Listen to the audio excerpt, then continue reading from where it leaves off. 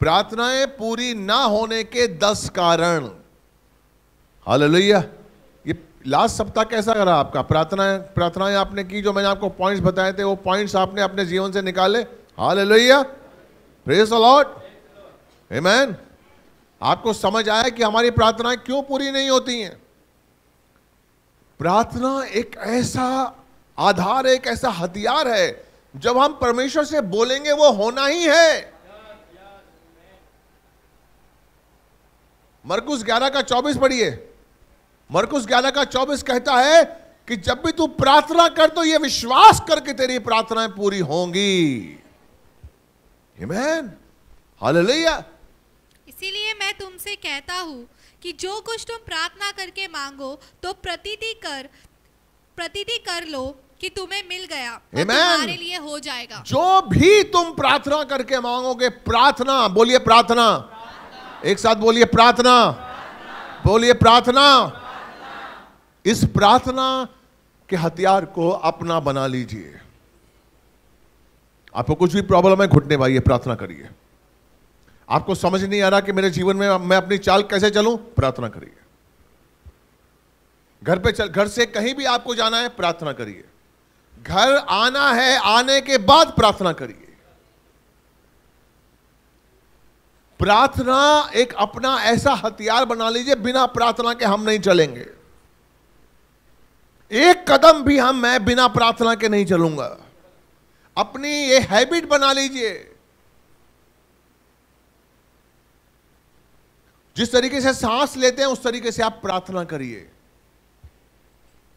इसलिए वो कहता है कि जब भी तुम प्रार्थना करो तो ये प्रतीति कर लो कि जो मैं मांग रहा हूँ, वो मुझे मिलेगा। Amen. यानी कि बाइबल प्रार्थना के बारे में हमें क्या सिखाती है कि जब भी हम प्रार्थना करेंगे तो हमें यह प्रतीति करनी है कि जो मैंने मुख से निकला है, वो परमेश्वर तक पहुँचा है और वो मुझे मिलेगा। लेकिन फिर भी नहीं मिल रहा है। हमने पिछले वचन में देखा कि यशाया उनसठ का, एक और दो में क्या लिखा लिखा हुआ कि ना तो परमेश्वर बहरा है ना उसके कार नहीं उसके हाथ छोटे। हैं वो देख भी सकता है, सुन भी सकता है, उसके हाथ भी लंबे हैं, वो आपको देखता भी है प्रार्थना करते हुए तो फिर भी प्रार्थनाएँ पूरी क्यों नहीं हो रही हैं? क्यों नहीं हो रही है प्रार्थनाएँ आपकी पूरी? हमने पिछले सप्ताह देखा था, पाँच पॉइंट्स हमने देखे थे, वो मैं रिपीट करूँगा शॉर्ट में, जो आप समझ जाएँगे, उसके बाद मैं अगले पॉइंट्स पे जाऊँगा। जो हम चाहते हैं, उसे मांगने की बजाय संघर्ष करते हैं, इसलिए हमारी प्रार्थना पूरी नहीं होती। हालेलुया हमें पता है कि हमें प्लॉट चाहिए मान लो। और वो प्लॉट यहाँ के एमपी के पास है। हम परमेश्वर से नहीं मांगते उस, उस एमपी से हम संबंध बनाने की कोशिश करते हैं। हम अपनी ताकत को दिखाना चाहते हैं। हम संघर्ष करते हैं। प्रार्थना नहीं करते। हालेलुया इसलिए हमारी प्रार्थनाएँ पूरी नहीं होती। बाइबल कहती है कि हमें हर हर जगह हर कदम पे, हर दिन हमें परमेश्वर से संबंध बनाना है और परमेश्वर को ऊँचा उठाना है। और हर दिन हमें परमेश्वर से कहना है कि परमेश्वर, मुझे तेरी ज़रूरत है। मैं आज का काम खुद नहीं कर सकता हूँ। ये कहना सीख लीजिए। अगर आप ये कहते हैं कि मैंने किया है, आप गलत हैं। आज ये काम मैंने किया है और देखो मैंने कैसा बड़बड़ किया, आप गलत कहें। आप महसूस करिए, आप दीन बनिए। अगर आप दीन नहीं आप परमेश्वर आपको ऊँचा नहीं उठाएगा, याद करिए। अगर आप परमेश्वर के सामने घमंड करेंगे तो आप कुछ नहीं पाएँगे। क्योंकि आप परमेश्वर की दृष्टि में कुछ भी नहीं है। आपके बुद्धि किसकी है? परमेश्वर की। शक्ति किसकी है? परमेश्वर की। आपको मौका कौन दे रहा है? परमेश्वर। आपको लोगों से मिलवा कौन रहा है? परमेश्वर। आप क्या हैं? मैं क्या हूँ? Amen. अगर मैं छोटा सा काम कर लेता हूँ तो यह परमेश्वर की कृपा है। इसलिए वो कहता है कि जो हम चाहते हैं, उसे मांगने की बजाय संघर्ष करते हैं। अपने आप को, ईगो, अपनी ईगो को सेटिस्फाई करने के लिए। इसलिए हमारी प्रार्थनाएँ पूरी नहीं होती हैं। दूसरा हम स्वार्थ की भावनाओं से मांगते हैं। हालेलुया। हम स्वार्थ की भावनाओं से मांगते हैं। हमारी प्रार्थनाओं में स्वार्थ है। बाइबल कहती है, परमेश्वर को पता है। तेरे मांगने से पहले परमेश्वर जानता है कि तेरे मन में क्या है। हालेलुया। अपना मन दिखाइए। मैंने आपको उदाहरण दिया था कि किस तरीके से मन्ना, जब परमेश्वर ने डाला निर्गमन सोलह का चार तो परमेश्वर ने क्या कहा था? तुम आज की रोटी लो। कईयों ने कल की रोटी उठाने की कोशिश की और कईयों ने उठाया भी, लेकिन वो सड़ गई। Amen? परमेश्वर नहीं चाहता कि आपके अंदर स्वार्थ आए। जब हम स्वार्थ से मांगते हैं तो परमेश्वर हमारी प्रार्थनाएँ पूरी नहीं करता है। हमारे अंदर स्वार्थ नहीं होना चाहिए। हमारे अंदर जो चीज़ है हमारे अंदर उसके लिए हमारे अंदर धन्यवाद होना चाहिए। Amen? कि जो परमेश्वर ने हमें दिया धन्यवाद। बाइबल क्या कहती है?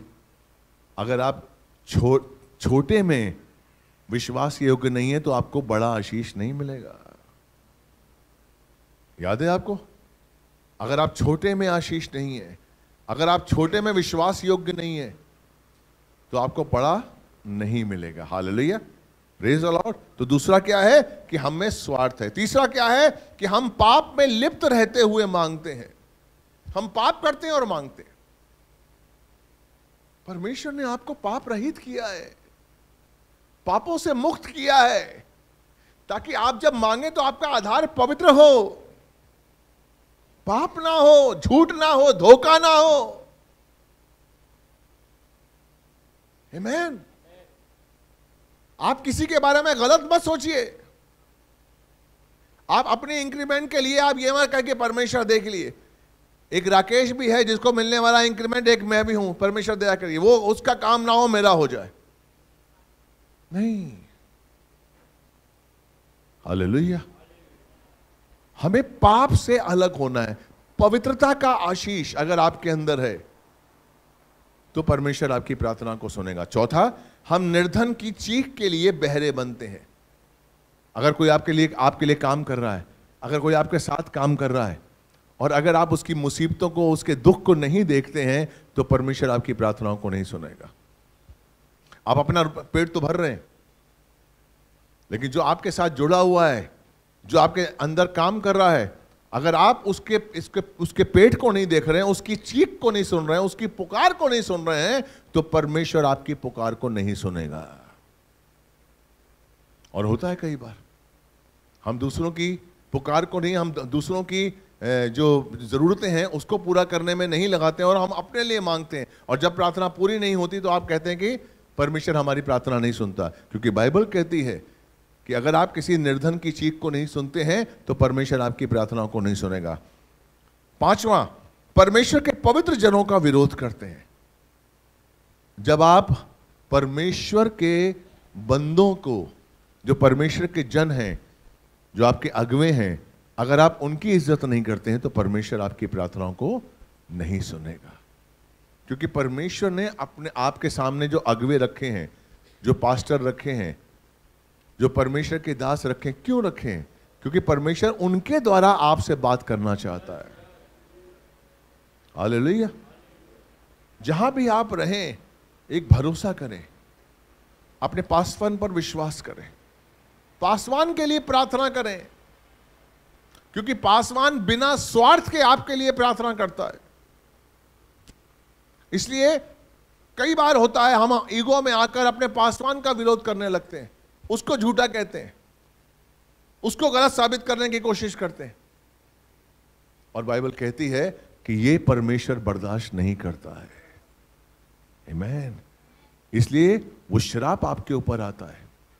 इसलिए निर्गमन, आप हाँ निर्गमन बारह का तीन क्या कहता है कि जो तुझे आशीष देगा, उसे मैं आशीष दूँगा, जो तुझे शराब देगा, उसे मैं शराब दूँगा। इब्राहिम के वंश का याजक, जो आपका पासवन है अगर आप उसे शराब देंगे तो आपको शराब मिलेगा। अगर आप उसके लिए अच्छा नहीं सोचेंगे तो आपके लिए भी अच्छा नहीं सोचा जाएगा। ये वचन कहता है। हालेलुया। प्रेज लॉर्ड छठा, जिससे हम आज शुरू कर रहे हैं, हम परमेश्वर के नियमों को जानते हुए भी उसकी अवज्ञा करते हुए। उसको इग्नोर करते। हैं हम जानते हैं कि परमेश्वर ने क्या कहा है। हम जानते हैं कि परमेश्वर क्या चाहता है। यीशु मसीह के पवित्र सामर्थ्य नाम में, यीशु मसीह के बलिदान के द्वारा परमेश्वर ने हमें पवित्र किया है। यीशु मसीह आपके जीवन में काम करना चाहता है। यीशु मसीह आपको ऊँचा उठाना चाहता है। लॉर्ड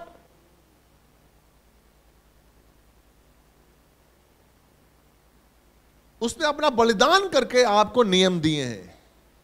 आपको बताया कि आपको किस तरीके से जीना है। लेकिन अगर हम जानते हुए कि व्यवस्था क्या कहती है, हम जानते हुए कि साहब हमें जीना इस तरीके से है, हमें अपना जीवन इस तरीके से गुजारना है, और अगर आप नहीं गुजारते हैं तो परमेश्वर आपकी प्रार्थना नहीं सुनता है। अन्य जाति जो है ना, वो आपके, वो तब भी अच्छी है, क्योंकि वो जानती नहीं प्रभु को। इसलिए पहला क्रंथियन चार का सत्रह क्या कहता है? पहला पहला पत्र सॉरी पहला पत्रस चार का सत्रह फ़र्स्ट पीटर फोर सेवनटीन क्योंकि वो समय आज पहुँचा है कि पहले परमेश्वर के लोगों का न्याय किया जाए। जबकि न्याय का आरंभ हम ही से होगा तो उनका क्या होगा? उनका क्या अंत होगा जो परमेश्वर के सुसमाचार को नहीं जानते? बंद करिए बंद करिए। आवाज़ बंद करिए प्लीज़ स्विच ऑफ़ कर दीजिए। क्या वचन कहता है कि न्याय किससे होगा? हम ही से होगा। क्योंकि हम जानते हैं। आप जानते हैं कि परमेश्वर ने आपके जीवन में काम किया। आप जानते हैं बाइबल क्या है? आप जानते हैं कि मुझे चर्च जाना चाहिए। आप जानते हैं कि मुझमें दया आनी चाहिए। आप जानते हैं कि मुझे दशवान देना चाहिए। और फिर भी आप नहीं दे रहे हैं। परमेश्वर आपकी प्रार्थना को नहीं सुनेगा। एक आदमी नहीं जानता चलेगा। आप जानते हुए भी अगर उसको अवज्ञा करते हैं, उसको इग्नोर करते हैं, ना नहीं ओके ओके, ठीक है यार। चर्च नहीं नहीं अभी नहीं जाएँगे। प्रार्थना नहीं नहीं नहीं, अभी नहीं। दशांश अभी नहीं है। नहीं। क्या लिखा हुआ है? हम परमेश्वर को नियमों को जानते हुए भी अगर हम उसको अवज्ञा करते हैं, उसको इग्नोर करते हैं तो परमेश्वर हमारी प्रार्थनाओं को नहीं सुनता है। परमेश्वर से हमारा संबंध टूट जाता है। हालेलुया। दूसरा, हम क्षमा ना करने वाली आत्मा रखते हैं। मती 18 21 से 35 के बीच में। मैथ्यू 18 21 टू 35 कितने विश्वास करते हैं कि आपके पापों की क्षमा आपको मिल चुकी है? जितने भी पाप आपने किए थे, उन सब की क्षमा आपको मिल चुकी है। कितने विश्वास करते हैं? हालेलुया। प्रेज लॉर्ड यानी कि परमेश्वर ने जितने भी आपने पाप किए थे, उन सब के लिए आपको क्षमा कर दिया है। लेकिन बाइबल क्या कहती है? यहाँ पर क्या कहती है? कि हम क्षमा ना करने वाली आत्मा रखते हैं, इसलिए हमारी प्रार्थना सुनी नहीं जाती है। मैं आपको एक दृष्टांत से बताऊँगा। मती अठारह, इक्कीस से। आपको बहन पढ़ेंगी, उससे पहले मैं आपको बताऊँ। यह दृष्टांत है कि एक आदमी था, जिसका कम से कम दस करोड़ का कर्जा था। कितना था? सब लोग बोलिए दस करोड़। ले सब लोग कह रहे हैं, दस करोड़ मिल ही जाए तो अच्छा है ना। है? दस करोड़ का कर्जा था, मान लीजिए मैं उदाहरण दे रहा हूँ। दस करोड़ का खर्च, कर्जा था और उसके बॉस ने उसको बुलाया कि भाई पैसा दे। उसने कहा, सर, नहीं है, सर, बिल्कुल पैसा नहीं है आई एम सॉरी सर कहता, कब से तू बोल रहा है? दस करोड़ तेरा पर है भाई, तू दे नहीं रहा पैसा? कहता, नहीं सर मैं अब दूँगा दूँगा, लेकिन अभी नहीं है सर अभी के लिए थोड़ा समय दीजिए, माफ़ करिए। तो जो उसका मालिक है, उसको रहम आ गया। उसको अब रहम है उसने कहा, चलो ठीक है। कितना है इसका? दस करोड़। चल तुझे माफ़ करता हूँ। दस करोड़ आपके माफ़ हो गए। कितने माफ़ हो गए? हिमैन दस करोड़ माफ़। वो आदमी जिसके दस करोड़ माफ़ हुए थे, वो बाहर निकला दरबार से। और उसको एक दोस्त मिल गया, जिसको उसने पाँच सौ रुपए दिए थे। कितने दिए थे? पाँच सौ रुपए। उस आदमी ने उसको पाँच सौ नहीं दिया, कहता, ला पाँच सौ मेरे। जिसका दस करोड़ माफ़ हुआ था, उसने पाँच सौ रुपए वाले आदमी को रोक लिया। मेरा पाँच सौ रुपए थे कहता, सर आई एम सॉरी नहीं है ब्रदर मैं आपको दूँगा जैसे उसने विनती की थी, वैसे इसने की। कहता, नहीं नहीं, मुझे पाँच सौ रुपए दे। तो उसने कहा, नहीं है। उसने बुलाया इसको जेल में डालिए आप। और जब तक ये पाँच सौ रुपए ना दे दे इसको जेल में रखो। तो उसके जो संगीत साथी थे उन्होंने उसके बॉस को बताया कि साहब आपने इसका दस करोड़ मा, माफ़ कर दिया। दस करोड़ आपने माफ़ कर दिया और ये अपने दोस्त का पाँच सौ रुपए माफ़ नहीं कर पाया। हल लिया अब देखिए वो क्या कहता है चौतीस और पैंतीस पढ़िए। चौतीस और पैंतीस। और उसके स्वामी ने क्रोध में आकर उसे दंड देने वालों के हाथ में सौंप दिया। कि जब तक वो सब कर्ज भर न दे, तब तक उनके हाथ में रहे। इसी प्रकार यदि तुम में से हर एक अपने भाई को भाई को मन से क्षमा न करोगे तो मेरा पिता जो स्वर्ग में है, तुमसे भी वैसा ही करेगा। कैसा करेगा? समझे कुछ? अगर आप धरती पर किसी को मन से माफ़ नहीं करेंगे मन से अगर आपने किसी का एक पाप भी माफ़ नहीं किया तो जितने भी परमेश्वर ने आपके दस करोड़ पाप माफ़ किए हैं ना, वो सारे पाप आपके ऊपर आ जाएँगे। वचन कहता है, मैं नहीं कह रहा हूँ। नहीं समझे? दोबारा समझाऊं? इसी प्रकार यदि तुम में से हर एक अपने भाई को मन से क्षमा ना करेगा तो मेरा पति जो, मेरा पिता जो स्वर्ग में है, तुमसे भी वैसा ही करेगा। अगर आपने किसी को, क्योंकि परमेश्वर ने आपके हज़ारों पापों को माफ़ किया है, आपने जो छोटे बड़े पाप किए ना, आप गिनिए आप गिन नहीं सकते कि आपने कितने पाप किए आप गिनती भूल जाएँगे आपने इतने पाप किए और कोई पापों को याद करते करते आपको शर्म भी आएगी कि यार मैंने किया ये।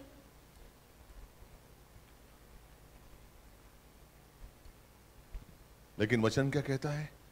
कि जो पाप परमेश्वर ने आपको माफ़ किए, वो भूल चुका है। लेकिन अगर आपने किसी का छोटा सा पाप भी माफ़ नहीं किया, आपने किसी को मन से क्षमा नहीं किया, एक बार क्या होता है? आपने ऊपर से क्षमा कर दिया। ओके दया मैं मैंने आपको माफ़ किया। लेकिन अंदर ही अंदर आप उसके लिए नफरत रखते हैं। नो मन से अगर आपने पाप नहीं किया तो याद करिए, परमेश्वर ने जितने आपके पाप माफ़ किए हैं ना, वो सारे पाप आपके ऊपर आ जाएँगे। इसलिए न्याय करो खुद का। रोज खुद का न्याय करो। रोज खुद को जांचो। कि मैं कहाँ गलत हूँ? और अगर गलत है, घुटने टेक कर माफ़ी मांगो। आज, इस समय, धरती पर आप परमेश्वर से माफ़ी मांगेंगे, उसका अनुग्रह है, आपको चंगा मिल जाएगी, आपको माफ़ी मिल जाएगी, लेकिन वहाँ पर नहीं मिलेगी। याद रखना, इसको मज़ाक मत समझना। इसलिए जिसके अंदर क्षमा ना करने की आत्मा है बाइबल कहती है कि आपकी प्रार्थनाएँ नहीं सुनी जाएँगी। अगर आपकी प्रार्थनाएँ नहीं सुनी जा रही हैं बहुत दिनों से, आप अपने आप को जांचिए। ये जो दस पॉइंट्स हैं, कि कौन से पॉइंट्स मेरे अंदर हैं? क्यों मेरी प्रार्थना नहीं सुनी जा रही है? क्या परमेश्वर कठोर है? या परमेश्वर सुनता नहीं है? और फिर अपने आप से सवाल करिए आठ का बत्तीस रोमियो आठ का बत्तीस इसको पढ़कर समझिए कि जो परमेश्वर हमें अपने इकलौते पुत्र के द्वारा शुद्ध कर सकता है रोमियो आठ का बत्तीस जिसने अपने निज पुत्र को भी न रख छोड़ा हाँ। परंतु उसे हम सब के लिए दे दिया वो उसके साथ हमें और सब कुछ क्यों ना देगा Amen. सोचिए अपने आप से अगर आपकी इच्छाएँ पूरी नहीं हो रही हैं, अगर आपकी प्रार्थनाएँ पूरी नहीं हो रही हैं तो उससे कहिए कि मेरे अंदर क्या कमी है? क्यों? क्योंकि जिसने अपने इकलौते पुत्र का बलिदान आपके लिए कर दिया, वो आपकी प्रार्थना क्यों नहीं पूरी कर रहा है? वो आपकी प्रार्थना क्यों नहीं पूरी कर रहा है? क्योंकि आप उसके अनुसार चल नहीं रहे हैं, क्योंकि क्षमा ना करने की आत्मा आपके अंदर है।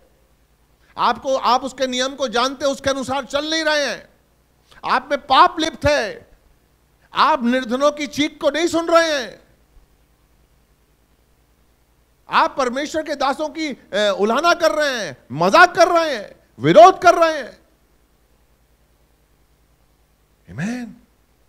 जांचिए अपने आप को। आठवां, हम में विश्वास की कमी है। हम में क्या है? विश्वास की कमी है। इसलिए हमारी प्रार्थनाएँ सुननी पूरी नहीं होती। हम ये तो विश्वास करते हैं कि यीशु मसीह हमारे लिए मरा। लेकिन उतना ही रखते हैं बस। हमारा विश्वास, हमें विश्वास करना नहीं आता। छह का अड़तीस, योहन्ना छह का अड़तीस बताइए। छह का सैंतालीस। छह का सैंतालीस। योहन्ना छह का सैंतालीस सिक्स फोर्टी सेवन मैं तुमसे सच सच कहता हूँ कि जो कोई विश्वास करता है अनंत जीवन उसी का है। कितने विश्वास करते हैं यीशु मसीह पर? बोलिए मैं विश्वास करता हूँ कि अनंत जीवन मेरा है। हाले लोहिया आप विश्वास करते हैं कि अनंत जीवन मेरा है? रेज लॉट हाले लोहिया अभी दूसरा वचन सात का अड़तीस योहन्ना सात का अड़तीस जॉन सेवन थर्टी एट। जो मुझ पर विश्वास करेगा जैसा पवित्र शास्त्र में आया है उसके हृदय में से जीवन के जल की नदियाँ बह निकलेगी। जीवन के जल की नदियाँ बह निकलेंगी। कितने विश्वास करते हैं कि आपके अंदर से जल की नदियाँ बह निकलेंगी निकल रही हैं? आप समझते हैं उसका मतलब? हाथ ऐसे मत उठाओ। आपके हृदय से जीवन के सोते फूट पड़ेंगे। जो कोई विश्वास करेगा, क्या फूट रहे हैं? हेलो? क्या फूट रहे हैं? क्योंकि आपका विश्वास वहाँ तक है कि जो कोई विश्वास करेगा, वो अनंत काल का जीवन पाएगा, बस। जो विश्वास करेगा, उसके हृदय से अनंत काल उसके उसके हृदय से परमेश्वर के सोते फूट पड़ेंगे। Amen. परमेश्वर की आत्मा आपके द्वारा दिखनी चाहिए। क्या दिखती है? क्या दिखती है? अभी तीसरा वचन, योहन्ना चौदह का बारह। John fourteen twelve. मैं तुमसे सच सच कहता हूँ कि जो मुझ पर विश्वास रखता है ये काम जो मैं करता हूँ, वो भी करेगा। Amen. कितने विश्वास करते हैं? कोई हाथ नहीं उठाएगा। है ही नहीं। जो काम यीशु मसीह ने किया, आप करेंगे? आप कर सकते हैं।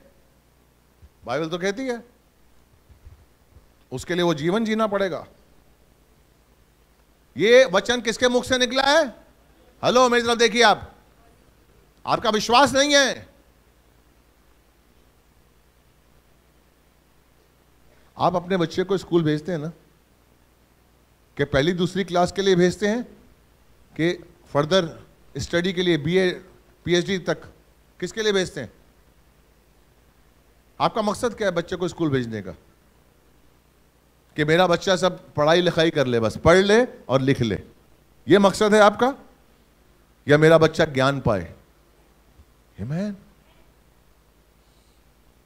आप लोग कलीसिया की कक्षा में आप पहली क्लास में हैं और वहीं पर आप स्थिर हैं। मैं विश्वास करता हूँ कि परमेश्वर कि जो विश्वास करता है, अनंत काल का जीवन उसका है। बस आप इसी विश्वास में बैठे हुए हैं। ये जो कह रहा है परमेश्वर चौदह का बारह, मैं तुमसे विश्वास करता हूँ, जो मुझ पर विश्वास करेगा, वो जो काम मैं करता हूँ, उससे बड़े करेगा। तालियाँ बजाना आप जानते हैं? लेकिन यह वचन आपके जीवन में क्यों नहीं काम हो रहा है? क्यों नहीं हो रहा ये काम? क्यों नहीं आप कर पा रहे हैं? क्यों नहीं आप मुर्दों को ज़िंदा कर पा रहे हैं? क्योंकि आप इस वचन पर विश्वास नहीं करते हैं। आपको लगता है, नहीं नहीं, मैं नहीं हूँ। यार, मैं कैसे कर सकता हूँ? वो तो यीशु मसीह था। क्यों मैं नहीं हूँ? क्यों नहीं कर सकते आप? आप वो जीवन बिताइए। पता क्यों नहीं कर सकते आप? इरमिया उन्तीस का तेरह। तुम 13 मुझे ढूंढोगे और पाओगे भी क्योंकि तुम अपने संपूर्ण मन से मेरे पास आओगे। Amen. तुम मुझे ढूंढोगे और पाओगे भी। ध्यान से समझिए क्योंकि तुम अपने संपूर्ण मन से मेरे पास आओगे। कितने यहाँ पर लोग हैं जो संपूर्ण मन से उसके पास आए हैं? क्यों नहीं आप कर पा रहे हैं? जो यीशु कहता है, उससे बड़े बड़े काम आप क्यों नहीं कर पा रहे हैं? क्योंकि आप संपूर्ण मन से नहीं आ रहे हैं। आपका मन तो संसार में है। अपनी नौकरी में अपने धंधे पर है।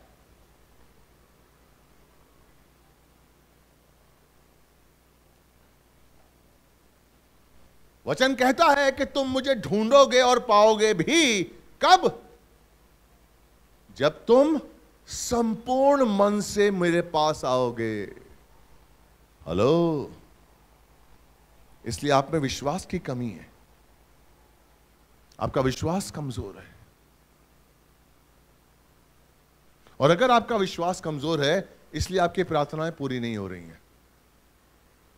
पर ने परमेश्वर ने आपको कहाँ पहुँचाया है? यीशु मसीह बाइबल में आपको कहाँ रखना चाहता है? वो कहता है, अगर तुम मुझ पर विश्वास करोगे तो जो काम मैं करता हूँ, वो तुम भी करोगे. Amen.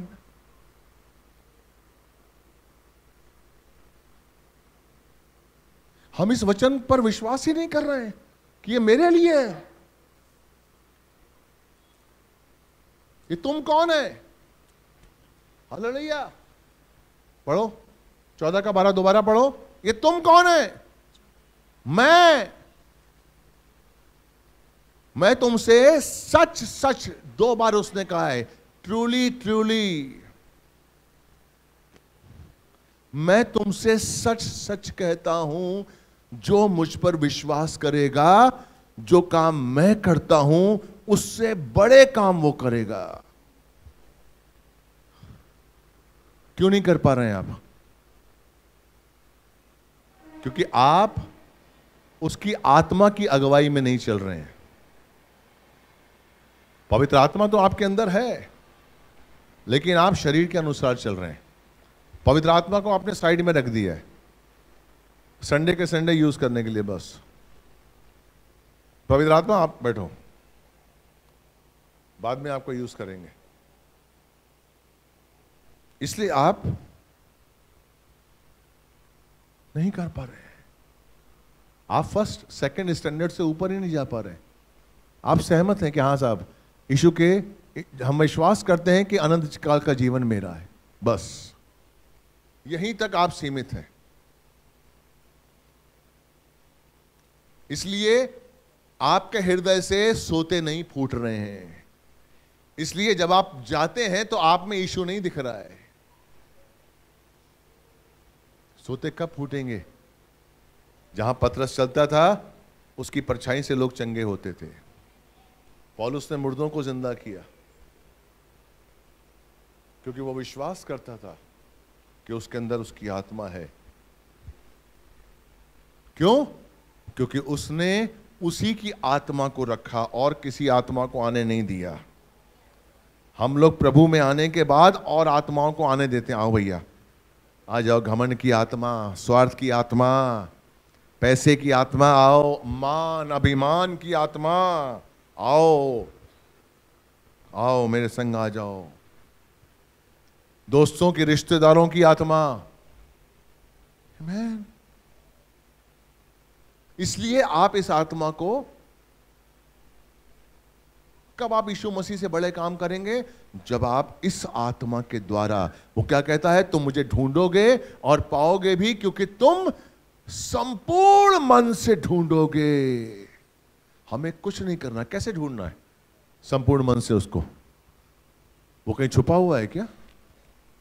परमेश्वर कहीं छुपा हुआ है जो आप उसे ढूंढेंगे? हैं? नहीं ना? कैसे ढूंढेंगे? उसके आत्मा जो उसने दी है ना, उसकी आवाज़ सुनने की कोशिश करिए। उसके अनुसार काम करिए, जो वो कहता है। अपने आप आप प्रभु के पास पहुँच जाएँगे।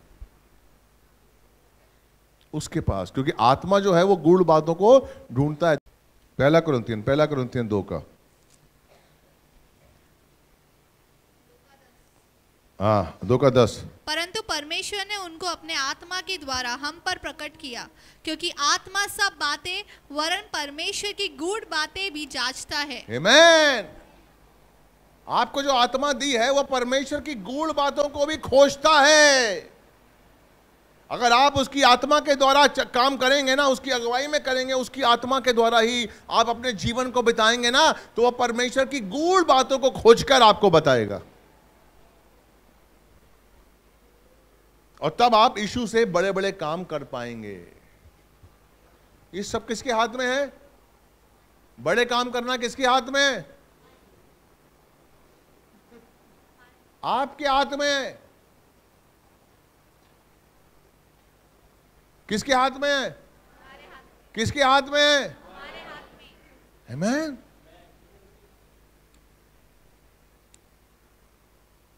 तो क्या लिखा है यहाँ पर? क्योंकि हम विश्वास की कमी है इसलिए हमारी प्रार्थनाएँ पूरी नहीं हो पाती। नवा हमारे हृदय में हम अपने हृदय में मूर्तियों को रखते हैं। इसलिए हमारी प्रार्थना पूरी नहीं होती। हमारी मूर्ति कौन है? जो परमेश्वर से ज़्यादा जिसको हम पूछते हैं परमेश्वर से ज़्यादा हम जिसको अहमियत देते हैं वो मूर्ति है। अगर आपकी नौकरी, आपको, आप परमेश्वर की, परमेश्वर से ज़्यादा अपनी नौकरी को अहमियत देते हैं तो वो आपके लिए मूर्ति है। अगर आपको कोई स्वाद है कि जब मीठे के बिना मैं जी नहीं सकता हूँ, वो मूर्ति है। चावल के बिना नहीं खा सकता हूँ, चावल मूर्ति है आपके लिए। जो आपके जीवन में परमेश्वर से ज़्यादा इंपॉर्टेंस रखता है, वो मूर्ति है। आपका धंधा, आपका काम आपके दोस्त, आपकी गर्लफ्रेंड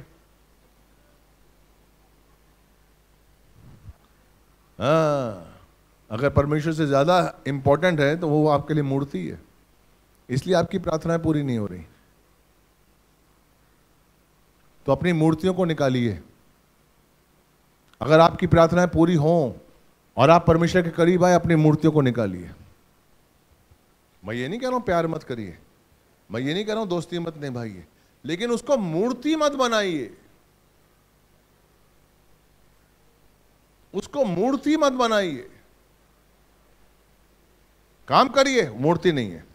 पहले प्रभु है, बाद में मेरा काम है।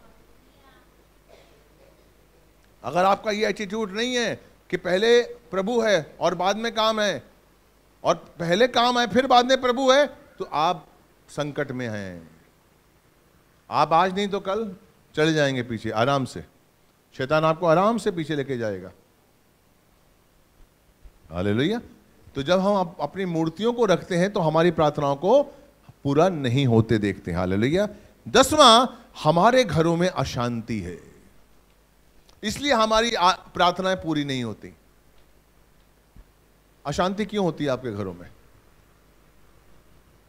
क्योंकि एक मन एक दृष्टिकोण नहीं है। बीवी कुछ कहती है, पति कुछ कहता है। बच्चे कुछ कहते हैं। पत्नी की सोच अलग है, पति की सोच अलग है, बच्चों की सोच अलग है, घर में शांति नहीं है। और घर में जब शांति नहीं है तो आपकी प्रार्थनाएँ वहाँ तक नहीं पहुँचती हैं। प्रार्थनाएँ आपके घर की तब पहुंचेंगी जब आपके घर में एक मन, एक दृष्टिकोण हो। एक मन के साथ आपकी शांति बनी रहे। हेलो? आपके घर में अशांति है, इसलिए आपकी प्रार्थनाएँ परमेश्वर तक नहीं पहुँचती। इसलिए अपने घर की शांति को बनाइए। जब तक आपके घर में शांति नहीं होगी, आप परमेश्वर को नहीं पा सकते। दूसरों के लिए जीना शुरू करिए। क्यों आपके घर में शांति नहीं है? क्योंकि आप अपने लिए ही जी रहे हैं। मैं मैं मैं मैं मैं।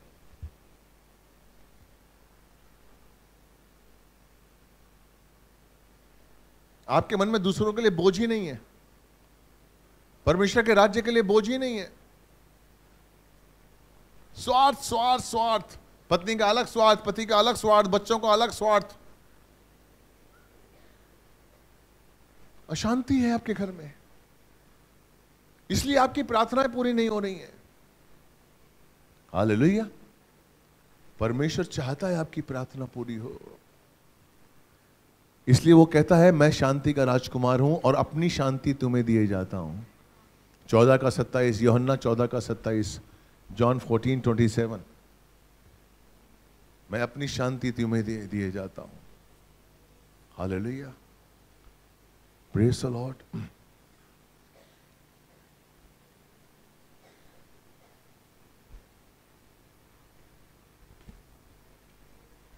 हम जब सुसमाचार सुनाने के लिए जाते हैं तब भी हमारे मन में शांति नहीं होती। है रोमियो एक का सोलह सत्रह पढ़िए। रोमन वन सिक्सटीन सेवनटीन जल्दी पढ़िए। क्योंकि मैं सुसमाचार से नहीं लज जाता हाँ। इसलिए कि वह हर एक विश्वास करने वाले के लिए पहले तो यहूदी फिर यूनानी के लिए उद्धार के निमित्त परमेश्वर की सामर्थ है। परमेश्वर की सामर्थ है। ध्यान सुनिए। सुसमाचार क्या है? ज़ोर से बोलिए, परमेश्वर की सुसमाचार क्या है? अगर आप सुसमाचार को एक मैसेज समझते हैं, आओ हम सुसमाचार सुनाने चलें। और आप मैसेज लेके जा रहे हैं कि यीशु मसीह मरा, मर के ज़िंदा हुआ। बहन, आप हमारे चर्च में आइए। अगर आप मैसेज लेके जा रहे हैं तो आप आत्माओं को नहीं जीत पाएँगे। आप आत्माओं को नहीं जीत पाएँगे। क्यों नहीं आत्माएँ आ रही हैं? क्योंकि आप उनको मैसेज सुना रहे हैं। परमेश्वर का सामर्थ है सुसमाचार। और वो सामर्थ दूसरे के अंदर क्यों नहीं काम कर रहा है? क्योंकि वो सामर्थ आपके अंदर नहीं है। आप जब सुसमाचार बोल रहे हैं तो आपके अंदर सुसमाचार जीवित नहीं है। उस भाई, उस बहन को आपके अंदर सुसमाचार नहीं दिख रहा है। अगर मैं आपसे कहूँगा, झूठ मत बोलो, धोखा मत दो, व्यभिचार मत करो, और मैं अगर झूठ बोलूँगा, व्यभिचार करूँगा, धोखा नहीं दूँगा तो आपके ऊपर मेरे वचन काम नहीं करेंगे। हेलो? आप समझ रहे हैं? अगर मैं आपसे बोलता हूँ, झूठ मत बोलो तो पहले मुझे झूठ नहीं बोलना है। मुझे वो जीवन जीना जो मैं चाहता हूँ। यीशु मसीह ने वो जीवन जिया इसलिए उसने कहा कि पवित्र जीवन जियो क्योंकि मैं पवित्र हूँ। सुसमाचार एक सामर्थ है। आप नहीं जानते सुसमाचार की ताकत को, लेकिन उस ताकत को अपने अंदर लेके चलिए। सुसमाचार कोई मज़ाक नहीं है। सुसमाचार कोई ड्यूटी नहीं है। क्या चलो इस, यहाँ चलते हैं, ओके। दो इधर, दो उधर, बाकी मेरे पीछे। यह सुसमाचार नहीं है। मैन क्योंकि आपका जीवन प्रार्थना का नहीं है, इसलिए सामर्थ्य नहीं उतर रहा है। आप हर चीज़ को ड्यूटी समझ रहे हैं। चर्च आना ड्यूटी है। प्रार्थना करना ड्यूटी है। एक एक अध्याय पढ़ना ड्यूटी है। इसलिए वचन आपके अंदर काम नहीं कर रहा है। आपके अंदर बोझ नहीं है कि इस वचन को मेरे जीवन में उतरने दो। प्रभु, मैं जो पढ़ रहा हूँ, वो वैसा बन जाऊँ। हेलो? दाऊद क्यों परमेश्वर का मित्र था? क्योंकि वो वैसा बोझ रखता था। जब तक आप वचन को मनन करने के लिए, वचन को अपने जीवन में उतारने के लिए आपके अंदर बोझ नहीं होगा। जब तक आप ड्यूटी करते रहेंगे, तब तक परमेश्वर का सामर्थ्य नहीं उतरेगा। आज मैंने चार चैप्टर पढ़ लिए, पाँच चैप्टर, कोई फ़ायदा नहीं। जब तक वो वचन आपके अंदर काम ना करे। हालेलुया। भैंस को जुगाली करते हुए देखा किसी ने? भैंस जुगाली करती रहती है। हाँ। वो खा लेती है एक बार में और फिर बैठकर ये एक मसीह का काम होना चाहिए। कि आपने वचन पढ़ लिए? फिर आप बैठ गए और आप उस वचन को जुगाली कर रहे हैं, मनन कर रहे हैं। एक घंटा, दो घंटा, तीन घंटा, चार घंटा उसी को कर रहे हैं। तो वो खाना पचेगा। फिर वो खाना आपके जीवन में सामर्थ्य लेकर आएगा। फिर जब आप जाएँगे सुसमाचार के लिए, वो सामर्थ्य सामने पर प्रकट होगा।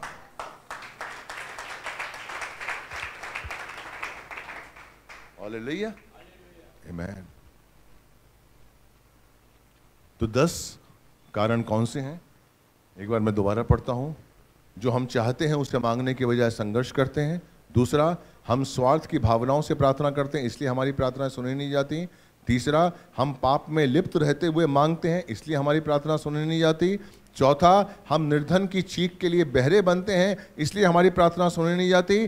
पांचवा, परमेश्वर के पवित्र जनों का विरोध करते हैं, इसलिए हमारी प्रार्थना सुनी नहीं जाती। छठा, हम परमेश्वर के नियमों को जानते हुए भी उसकी अवज्ञा करते हैं, इसलिए हमारी प्रार्थना सुनी नहीं जाती। सातवां, हम क्षमा ना करने की आत्मा रखते हैं, इसलिए हमारी प्रार्थना सुनी नहीं जाती। हम विश्वास की कमी है हम में, इसलिए हमारी प्रार्थना सुनी नहीं जाती। नवा, हम अपने हृदय में मूर्तियों को रखते हैं, इसलिए हमारी प्रार्थना सुनी नहीं जाती। और दसवां, हमारे घरों में अशांति है, इसलिए हमारी प्रार्थना सुनी नहीं जाती। जाती। इन दस पॉइंट्स को अपने जीवन से निकालिए और प्रार्थना करिए। मैं चैलेंज करता हूँ। आपकी हर प्रार्थना का जवाब मिलेगा आपको। आपकी हर प्रार्थना का जवाब मिलेगा। अगर इन दस पॉइंट्स को आप निकाल देंगे, मैं आपका जीवन बदल जाएगा। आपका जीवन बदल जाएगा। आप जो मांगेंगे प्रकट होगा। इन चीज़ों के ये जो दस कारण हैं, इनको अपने जीवन से निकालिए। हालेलुया। कितने को आशीष मिला है? कितने लोग आज से विश्वास करते हैं कि ये दस कारण मेरे जीवन में नहीं होंगे? कितने लोग वाचा बांधते हैं कि ये दस कारण अब मेरे जीवन में नहीं होंगे? कितने विश्वास करते हैं कि मेरी प्रार्थना सुनी जाएँगी? ये आपके ऊपर है प्रार्थना का सुना जाना। आप परमेश्वर के ऊपर नहीं है। बाइबल क्या कहती है? दस पॉइंट्स क्या कहते हैं? It's all depend on you अभी आपके ऊपर है ये। अगर आपकी प्रार्थना नहीं सुनी जा रही है तो इन दस पॉइंट्स को देखिए। क्या दस पॉइंट्स तो मेरे जीवन में नहीं है? Amen. अगर ये दस पॉइंट्स हैं तो अपने आप को जांचिए। अपना न्याय करिए। Hallelujah. Amen. Praise the Lord. मैं सच कह रहा हूँ, मेरी बहन, अंतिम समय है मैं चाहता हूँ, बाइबल चाहती है, परमेश्वर चाहते हैं कि आपकी हर प्रार्थना पूरी हो परमेश्वर आपकी हर प्रार्थना का जवाब देना चाहते हैं लेकिन बिकॉज़ आपके जीवन में ये कारण है, आपके जीवन में ये चीज़ें हैं, इसकी वजह से आपकी प्रार्थना का जवाब नहीं मिल पा रहा प्रेज द लॉर्ड अपने आप को जांचिए। प्रभु आपको आशीष से आइए अंतिम प्रार्थना करते हैं। धन्यवाद देते हैं पिता परमेश्वर। आपकी कृपा दृष्टि हम पर है।